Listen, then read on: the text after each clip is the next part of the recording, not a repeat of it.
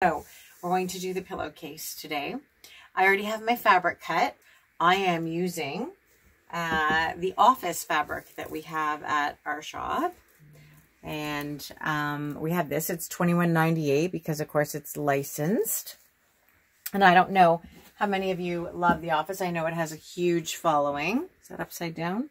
Oh, I actually got it right this time. I know that it has a huge following. I do not like it. I wish I did, uh, but I don't. But my kids adore it. So this one is for my little Cooper's stocking, and he's no, he's not little. He's like six four, but whatever. He's my baby, and I'm gonna do this up for him. I don't know about any of you, but I have children that are very particular about their pillowcases, and my oldest son will use a pillowcase just like his mother until it is ragged. So um, I'm I'm trying to convince Porter that he needs a new one at this point. Anyway, so the fabrics are available at the shop, and I don't know how old this video will be, but right now they're available while I'm, while I'm doing this now.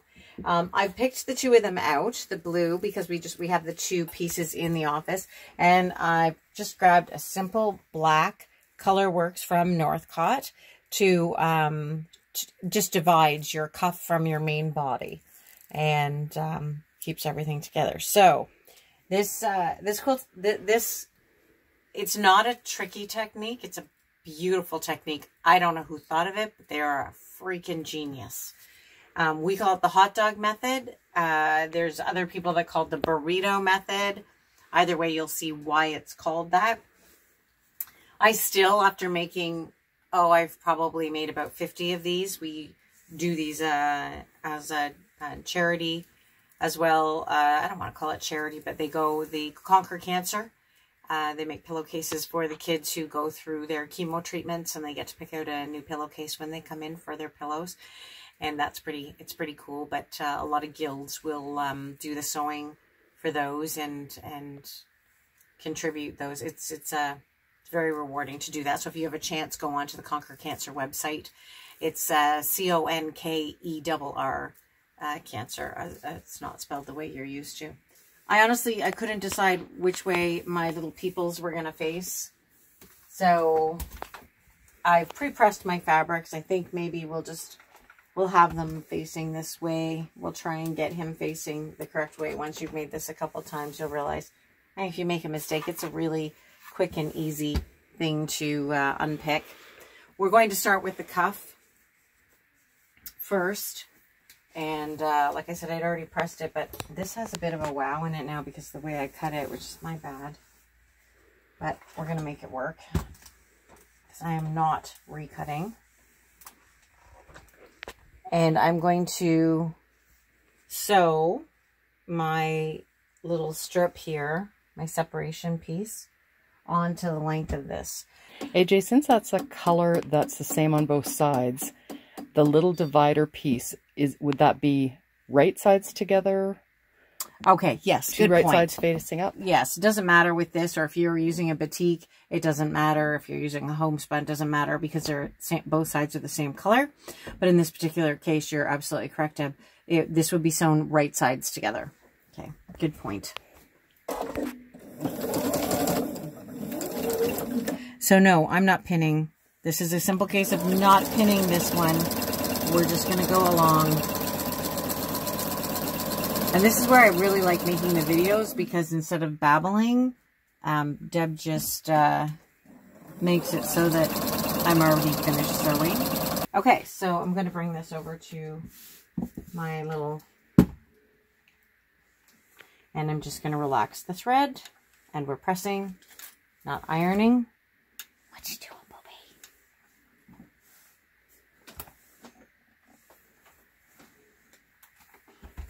And again, remember I'm always saying, don't stretch it. Give it a little finger press before you put your fab before you put your iron on it. Little finger press. You put it in place. Finger press.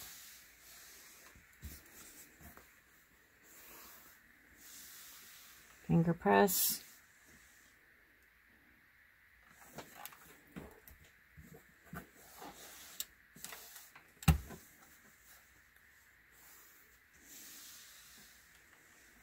Okay. Now, if you're if you're anal like me, and I am with my sewing, I like to run my, if you don't have one of these, you need one. Watch our 12 Days of Christmas. It'll be on there because they're amazing. It's a much more diffuse spray than what comes out of the actual Best Press bottle. You use 30% less of your Best Press, but still get the same effect. And um, it's actually lighter in your hand. It's easier to squeeze if you have problems with fibromyalgia or anything like that. And if you're doing a larger area, it actually has a neat end spray. If you pull it all the way, it gives a larger, wider spray, and it does it without you having to hold on to it. It's pretty epic. Okay, so now we have this sewn together, and we're going to lay it on our ironing board. Some of y'all might have longer ironing boards than I do, but I have a neat ironing board that has storage underneath it that back in the olden days I got at the old shop, so it's pretty cool. So this this this here is kind of not it's not directional. Dude, Shmarmy dude here is facing both ways, so we're going to um, we're going to not worry about our direction as much. And I'm going to lay this face down on here. And then I'm going to take this and I'm going to do this little kind of movement here, okay? So we're going to drape it like so. And so what you want to think of, you want to think of this piece of fabric almost like the hot dog. Because now we're going to take this and we're going to bring it up. And we're going to throw, so we're going to sew through. And I'm going to change my glasses because my eyes are really tired today. There we go. Oh, and these are really dirty. And we're now going to sew through all three of these seams. I'm going to do that again to show you what I did one more time because it's the key to this pillowcase. It's the key to turning the seams for the cuff inside. So we're going to lay this face down on here on our cuff. Don't worry about completely matching it up yet because we're going to have time to do that. And we're going to pick it up from the bottom.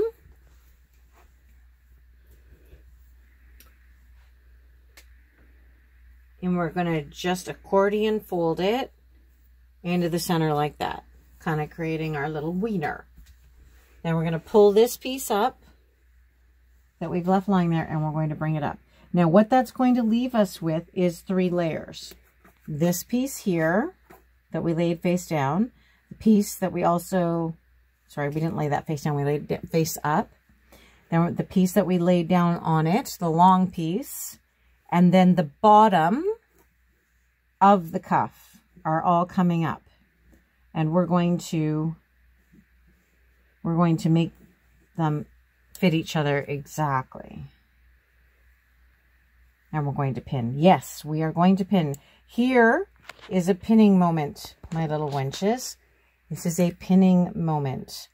You do not want to undertake this without pinning, okay? It's all about... And you have to be careful, I assume, that you're just doing the three and not getting any of the waffled fabric in there, right? Well, you do. You Like, this really needs to stay as a wiener in here. Your chances of sewing it in are slim, but it, I'm sure it's been done by many of a many of us trying to do this quickly or or whatever.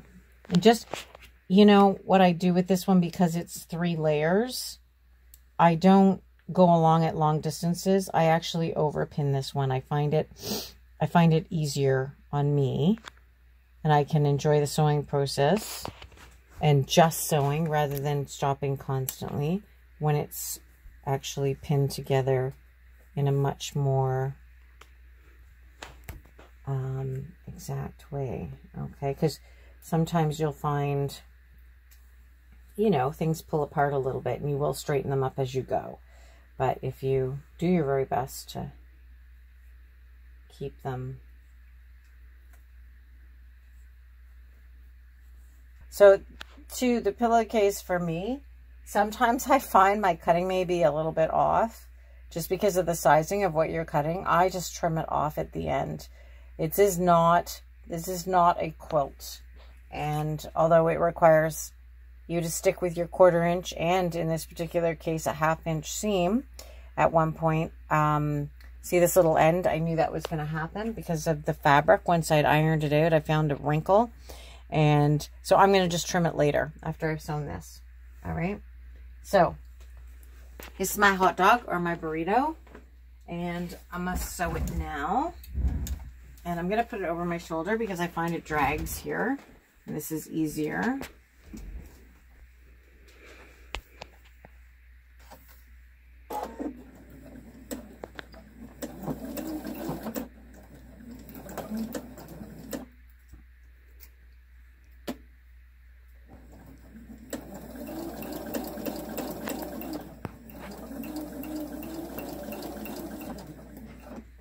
Now, because you've got stuff in here, it's really easy for this to pull away. So just keep tidying it up. And again, we go back to this is a process. It's a journey.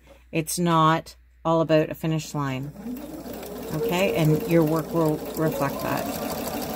Put the music on, enjoy what you're doing, throw on your Netflix, have a giggle. Okay, perfect. Now this is one of my favoriteest parts, what we're going to do right now. Okay, put all our pins out. And I'm going to wait to trim that because I'm not going to trim it like that. That would be wrong. I'm going to throw a bunch of fabric on the floor. Okay. I've been doing so many damn projects with you guys that I haven't got them finished. So it's driving me nuts. And then this one decides to say to me today, you got the quilt finished? No, I don't have the freaking quilt finished. Okay. So uh, you're going to take our wiener out of, oh, hang on though. I want to trim my threads. Because they're going to bother me. There we go. Okay. So our wiener, which was the inside piece in the fat in here, and I'm going to start to pull it out. Okay. It's, uh, just be patient. Don't yank. Don't rife. Just do it nice and slowly. You'll get it. It'll come. Just keep pulling. It's like, it's like pulling a rabbit out of the hat, only you're pulling a pillowcase out. I think it's just the coolest technique ever. really is.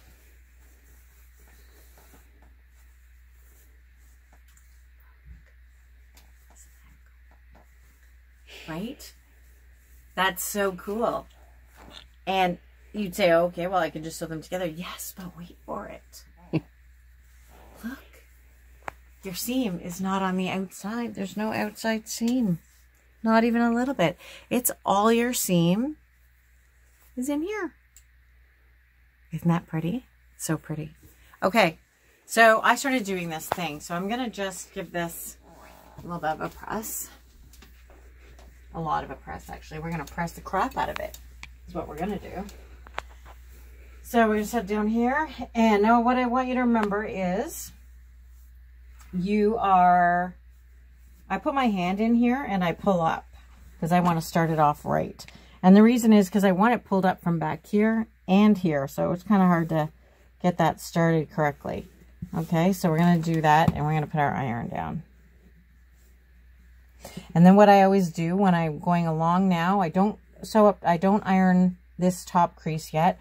I just pull along underneath the bottom. And I give this a little press. And you want to remember that this guy also is pressed. So you don't want to interfere with that seam. You want to make sure you're still going, you're keeping it lying flat, but you are pulling up from the back in order to get that seam. And so I'm going to show you from the back what I'm talking about. You want this to be going up as well so that you're not, it's not getting pressed too far down. See, you can see if we didn't pull it up, what would happen, right? So we're going to, we pull it up from the back as well. And that, and I do that first before I ever make the crease up here. I pull along and clean off my shit. There we go. Pull along.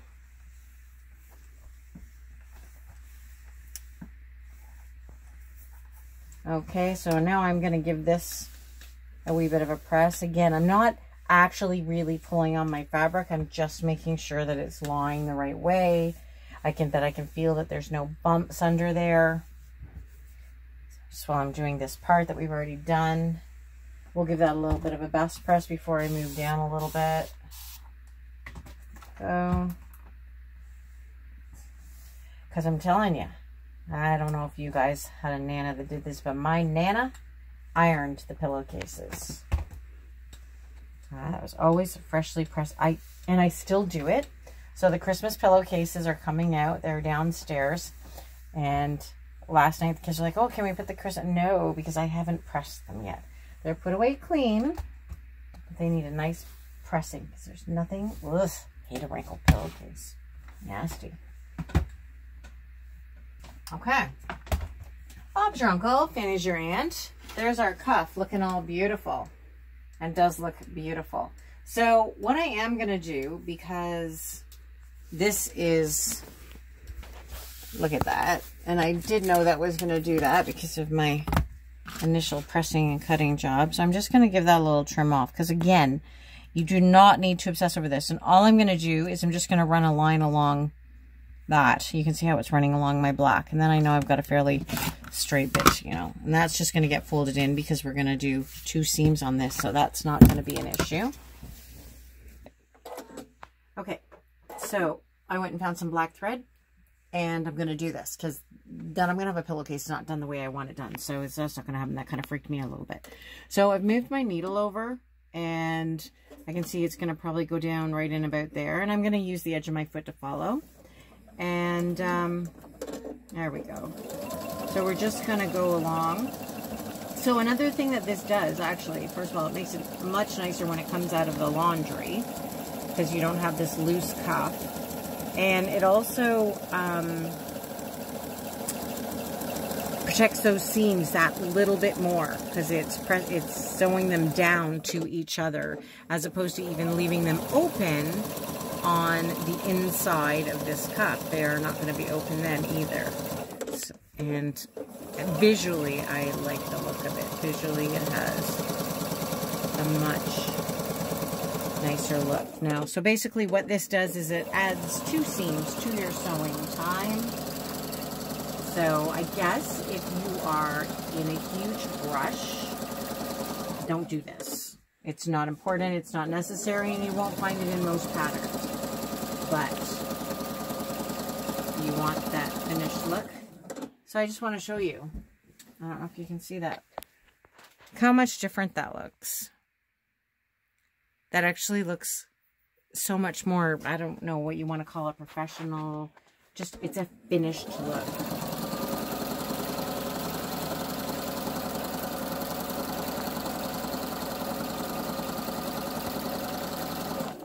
Okay and that is my one.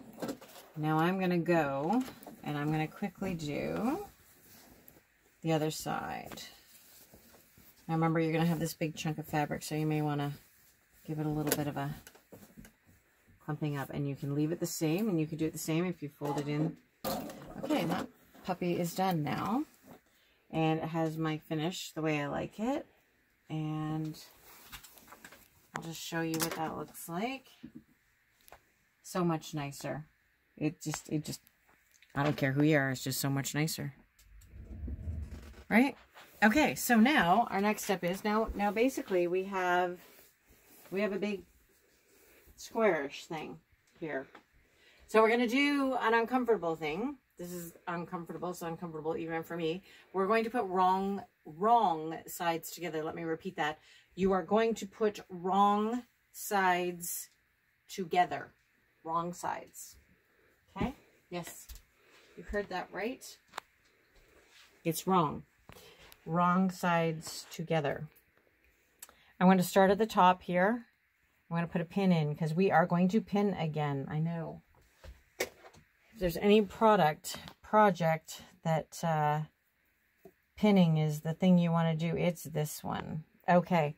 So also you want to take, now this sometimes is a little bit, as we go along, it gets harder to go over, but it's just nice to match those up.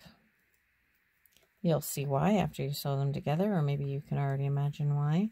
But that's kind of important to do that, to match those seams up. And again, overpinning, there's never really an issue with overpinning, only underpinning. I think that's actually a word for something else, an underpinning. Hmm. Okay, so I'm going to get everybody in place. This I'm going to just loosely pin, not loosely, but just not as many because I can shift it as I'm going along a lot better. But I also want to make sure I end up at my corner, just like I wanted to make sure that I started at the top and made made sure that this uh, this band joined up. So I'm to do that. Right, and I'm to start up here. And I'm to start up here because this this is the most important thing I want to be straight and dead on, right? Is because this is the part, it's just because you do. And I'm going to set my quarter inch seam again.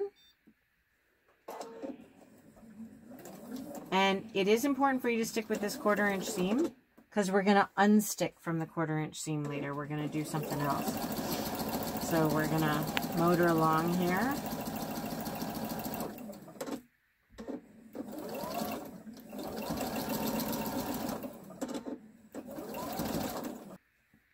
Can all do it. I'm just double checking to make sure those are matched up. And I'm going to sew right off. I just find it easier to sew right off rather than trying to find it. Because it's not really important to find that exact. And then I can start back in. Give it a little, there we go. And then you're going to just, now we're on the bottom.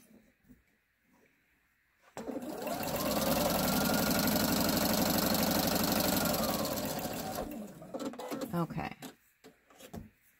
So I'm going to bring this over to my ironing board because this actually next step is where I find one of the most important things happens and this is where hmm, this is where the I don't want to call it professionalism but this is where things look their very best. Okay so we're going to turn it inside out. Last time I was doing this I had that cream on the back of my tattoo and and I realized at the end I had freaking coconut oil all on the inside of the on the outside of the pillowcase from doing that. A little annoyed with myself. Okay, go to your tools. Grab your wooden one.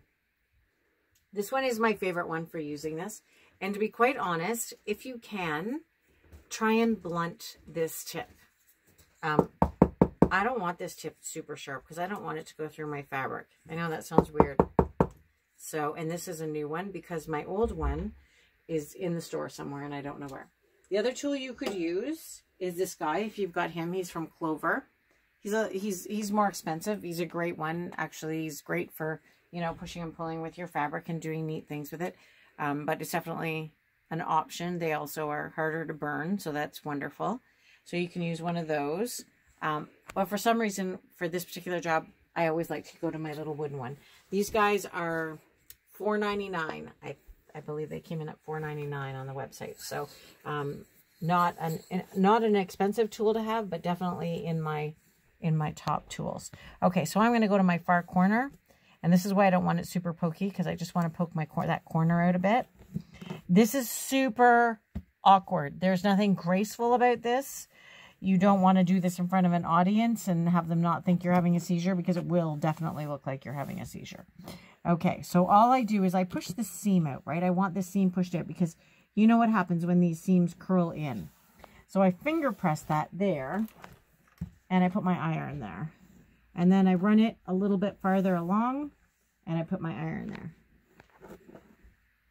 And I run it a little further along and I put my iron there. That's going to come around to the other side of me. And I run it, keep running it, making sure that you're running along the seam, not just along the fabric. Okay. And I keep going the one way. Sometimes you have to adjust. And sometimes you can only do small amounts at a time. I need to poke his face out. Look at that. His face is coming out. Okay. And actually not my best job. Which I always find on video it never is, but No excuse. But you can see what I've done is I've pushed out the seam. So now it's ironed out. Okay. Now, you want to go to this corner. Oh my God, I'm freaking boiling hot now. You want to go to this corner. In this particular case, I'm actually poking this man's head. I don't know whose head it is, but I'm poking somebody's head. And I'm going to do that. And so I'm repositioning. I'm kind of wearing the pillowcase. My arm is inside it. You can do whatever which way works for you. But I'm just going to run it along for a little ways. Finger press it and bring my iron over. And then I'm going to run it along a little bit more. Put my iron there. Run it a little bit more. Put my iron there. And we're just going to keep doing this to get that seam out nice and so you can see how it's come out nice and crisp, super crisp. Okay, and I'm going to reposition my arm in and push that seam out. Iron down. Again, this is probably my least favorite job of this project. I don't necessarily like doing this, but the outcome is important, super important, so it's worth it. All right, and now my seam is pushed out. Like, look at it's pushed right out, as opposed to this folding in thing that happens, and it does happen. All right, so what are we going to do now? Well, our fabric is now, is basically, if you look at it, our fabric is now right sides together. And you think, but it's already sewn together. Yes, but what we want to do is because if we open this pillowcase up right now, you'll notice that seam is open on the right side of our fabric. Well, nobody wants that, right? This is actually the outside of my pillowcase and it has now has an open seam. So what we're going to do is called a French seam. We've started the French seam, the first part. We don't have to pin again. Um, and we want to go and grab our pillowcase by the top again. I need a little rocket thing on the back of this. It pushes me into my sewing machine. And we're going to do the same thing all the way around. Only, and this is important, very important, we are going to work with the half inch seam. Okay, so remember, told you guys about this little tool. It's either $3.99 or $4.99, I can't remember. And um, it's a great way to uh, figure out where your quarter, your half inch, quarter inch, or whatever seam is, whatever you're working with. It has all of the measurements on it. So there's my half inch right there. So my half inch looks like it's all the way over here. And I'm just gonna, oh, it's pretty damn close to a half an inch. Again, there are no half inch police. It, the only reason we're doing this is we're going to enclose this seam. So, you know, as close as you can get to your half inch. Again, you're not going to run out of anything. It's not going to be wrong. It's not going to be, so we're going to Okay, I just, I don't want any, I'm going to get thread barf here and I don't want it, so I'm starting over.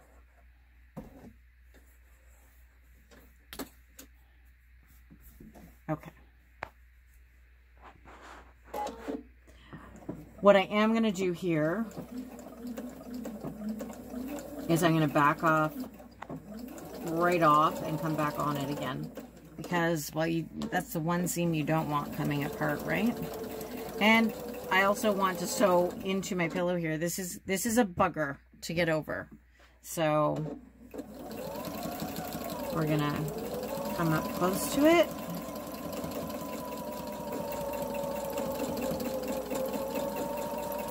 And you may have to pull a little bit. Everybody's machine is different. Sew again. I'm gonna come down to the end and I'm just gonna give it a little double punch at the end here.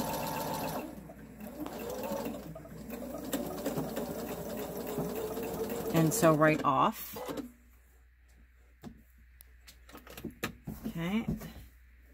And my thread there. Okay. And then we're now along. So what we're doing basically is we are encasing that quarter inch seam inside another seam. If you really want to knock yourself out, you could go along that, that seam before we turn it inside out. You can go along it with a zigzag thread. If you know, you know, I don't know. You, maybe your washing machine is hard on things or whatever, or you just want to be extra certain.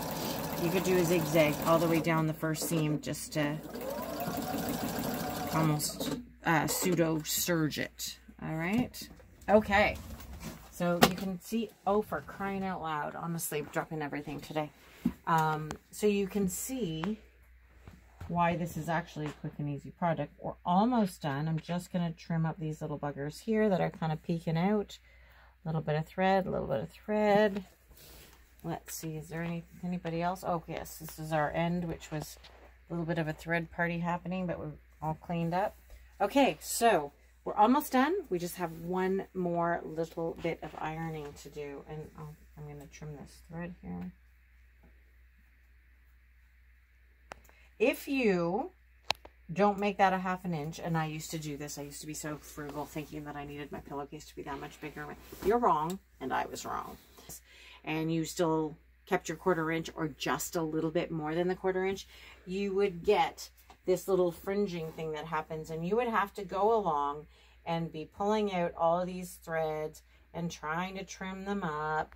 And there's a there will be a ton of them because you wouldn't have sewn far enough away from that particular seam. And doing this you do you do take the chance that you will also cut your fabric that you've that you've sewn so you know not such maybe not after you've spent that much so now we're going to do the same thing we're going to put our tool in our hand here. Trade spots with Deb. And we're going to do the same thing. We're going to get that corner out. And we're going to do that awkward thing.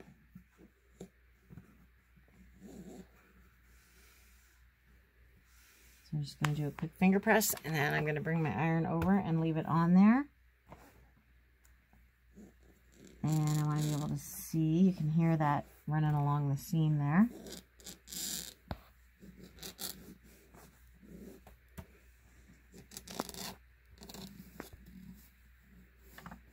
Along the seam. I always find this corner a little bit bumpy. It just is. If you sleep on the very corner of your pillow, I guess that'll be uncomfortable, but, you know,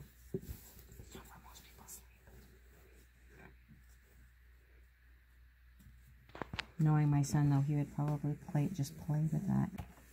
And all we're doing is, again, if you give it this initial press, then um, you shouldn't have to do this again. It comes out of the laundry fine. Just a little bit of an initial press to get that seam. It's te it basically it's teaching the seam where it's supposed to be. And we're just going to run it along here. Give it a finger press. Watch your little paws.